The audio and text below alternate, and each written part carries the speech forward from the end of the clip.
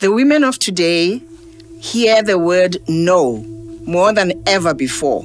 I am more than qualified to sit at the head of the table. No. I can run my household, my company, even a country. No. We felt the same in 1956. But we fought so that together our voices could say yes. Dinako di fetohile empa mathata a sa le teng. Ngazonke izikhathi umhlaba mawuthi cha. Re fumana tsela ya hore eya. Phambili ngomzabalazo. Today when the world says no, I say yes.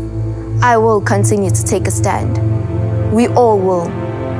This Women's Month, no matter what your dreams and aspirations are, nawe ungayithola.